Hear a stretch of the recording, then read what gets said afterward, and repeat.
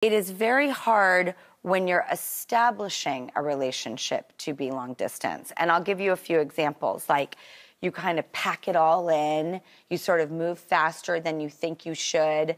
Um, you know you have you, you may or may not succeed at finding inventive ways of getting to know each other and communicating establishing a relationship in long distance. Rather having a long distance relationship that has been established we should have more patience with that process because it's a little trickier. Oh it's trickier but it's doable. I it will, is all doable. Yeah and long distance for evs is not sustainable right? But but i would say don't eliminate somebody out of contention because because they're long distance. Agreed, 100%. Agreed, agreed, agreed. And then be patient about the start and the build. Totally. And then, you know, you'll find a routine and a pace mm-hmm. that works for you. Yeah.